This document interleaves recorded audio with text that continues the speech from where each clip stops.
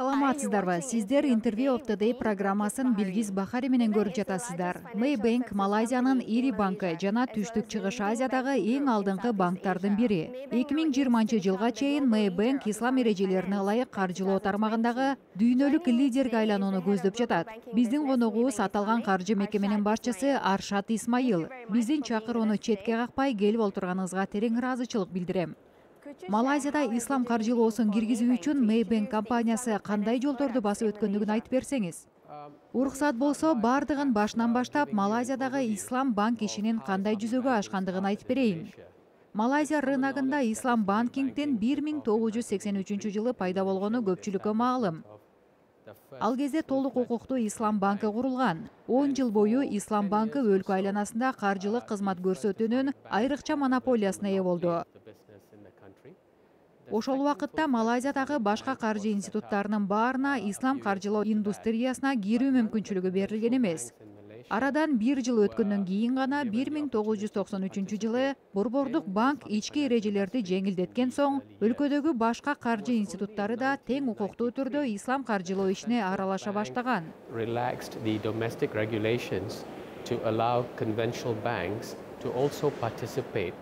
дал ошол убакытта бир миң тогуз жүз токсон үчүнчү жылы мэйбэнк ислам банкы рыноктарда өз кызматтарын сунуштай баштаган.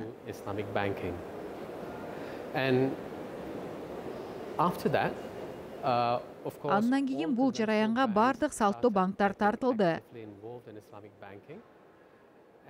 малайзиядагы ислам каржылоо ишин өнүктүрүүнүн кийинки мезгилинде салттуу каржы институттарынын туундуу компанияларын куруу колго алынды. Эң алды менен ал банктар ислам терезелерин ачууга көңүл бурушту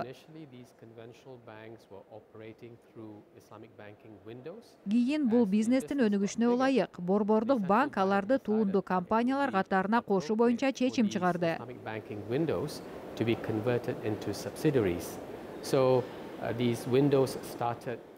ушундай жагдайда бул терезелер банктын туундуу компанияларына айланды. мэйбэнктин ислам терезеси эки миң сегизинчи жылы толук кандуу түрдө туундуу компания катарына өттү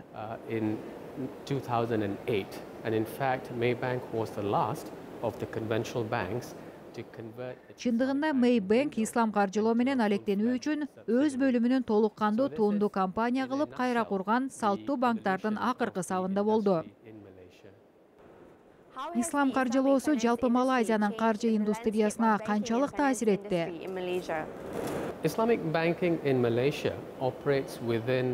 малайзиядагы ислам каржылоосу салттуу банк системасынын негизи боюнча иштейт ошондуктан биринчи кезекте биз ислам банкы мейкиндигинде сунушталган кызматтар менен өндүрүштөрүбүздү колдонуудагы нормативдик базага ылайык келтирүүнү камсыз кылышыбыз керек. Көптөгөн жылдар бою негизги жол жоболоштуруучу борбордук банк менен баалуу кагаздар боюнча атайын комиссия ислам банкынын талаптарына жооп бере турган бир катар эрежелер менен мыйзамдарды кураштыруу боюнча бир топ иштерди аткарып келет. Мэйбэнк казакстанда ислам каржылоо өндүрүштөрүн киргизүү боюнча астана эл аралык каржы борбору менен өнөктөштүктү орнотобу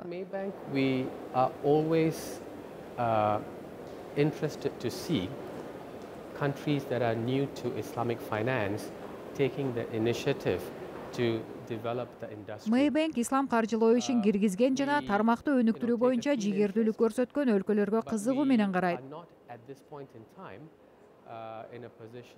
азыр биз казакстан менен ислам каржылоого тиешелүү демилгеге көңүл буруп бул багыттагы өнүгүүнү көзөмөлдөп жатабыз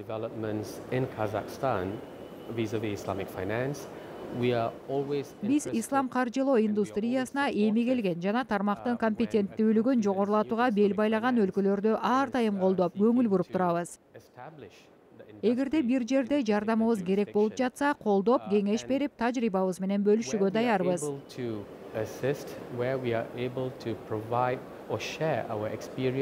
we would certainly be more than happy to do so. Малайзиянын банктык ишинин отуз кырк жылдык бай тарыхы менен көп тажрыйбасы бар. Убагында биз бир катар катачылыктарды кетирдик бирок алардан жакшы сабак алып алгылыктуу ийгиликтерге жетиштик ислам каржылоосуна жаңыдан кадам таштап баштаган ар бир мамлекет биздин өнүгүү жолубузду изилдөөдөн көп нерсе алышса болот. Кесиптештерибиз биз кетирген каталарыбызды анализдеп кайра кайталашпайт. Жеңишке жеткен кездерибизди үлгү кылып бир катар ийгиликтерге жетишет. Мэйбэнк. Мэйбэнк исламик сыяктуу уюмдар менен мекемелер өз кезегинде казакстанда ислам каржылоого себеп боло алат. Maybank Islamic in particular uh, can contribute to the development of Islamic finance in Kazakhstan. борбор азиядагы ислам каржылоосуна кандай баа бересиз We have been speaking to industry players in the биз бул теманын алкагында казакстандын тармактык адистери менен бирге аймактагы башка өлкөлөрдүн өкүлдөрү менен жолугушуп ар тараптуу талкууладык. Мен ислам банкинг борбор азия аймагында өзөктүүлүгүн жана маанилүүлүгүн таанытып келе жаткандыгына ишенимдүүмүн казакстандын аймагы хабка айлануу жолуна чыкканы баарына белгилүү бул жалпы каржылоо ислам каржылоого да түз тиешелүү uh,